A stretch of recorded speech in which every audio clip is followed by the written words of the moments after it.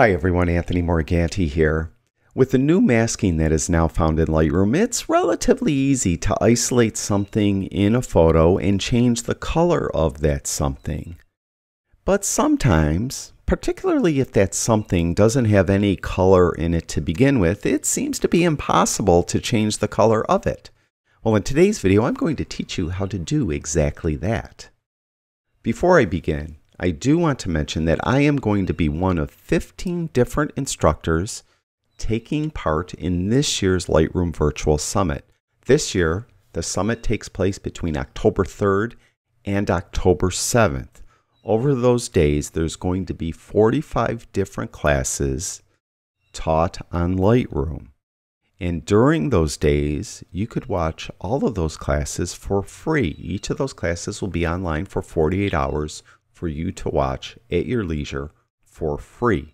Now, VIP passes are available. A VIP pass will allow you to watch those videos forever. Also, there'll be PDFs available for each of the uh, videos for VIP members. And for VIP members, each of us instructors are throwing in some freebies. For example, I'll be throwing in some presets and the raw files that I use for one of my videos. So to watch for free, all you need to do though is register for the virtual summit. And in the description below this video, I have a link to this website and you could register for free.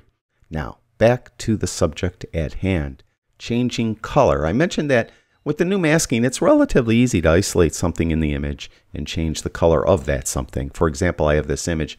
Let's say I wanted to change the color of the background. I would go to masking. I would select the subject.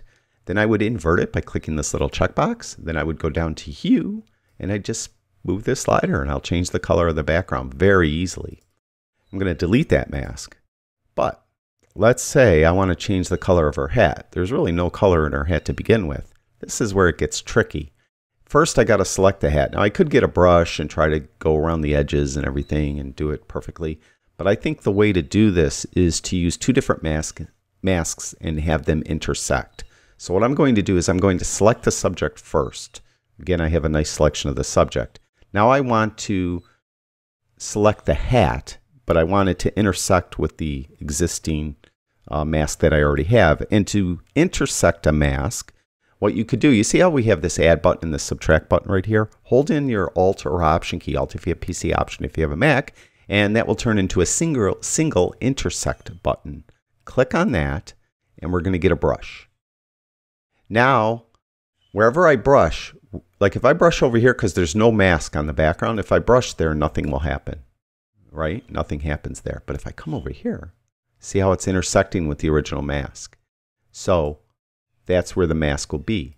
So I could come outside the lines over there and it won't matter.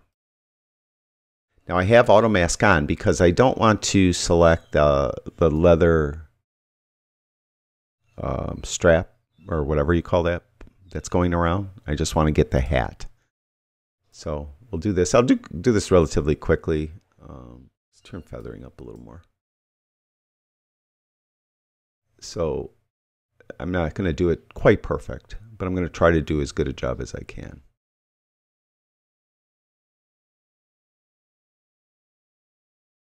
Here, get this. Now I could take auto mask off. This might help in here. Put it back on over here.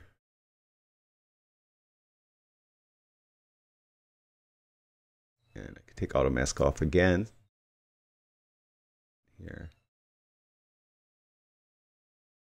Then cut her up in here with auto mask off. All right. Let's say this is good.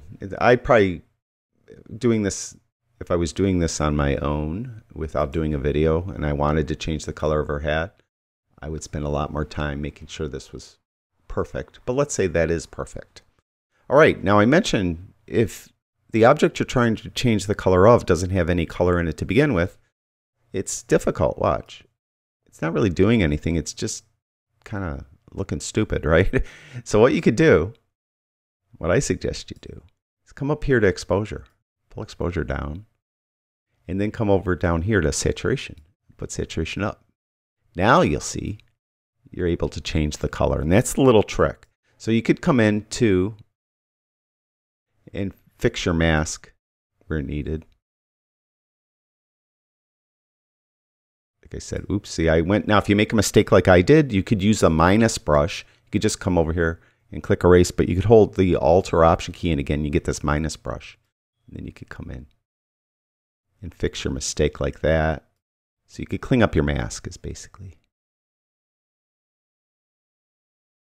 So again, you want to come in and try to get a good job, do a good job everywhere.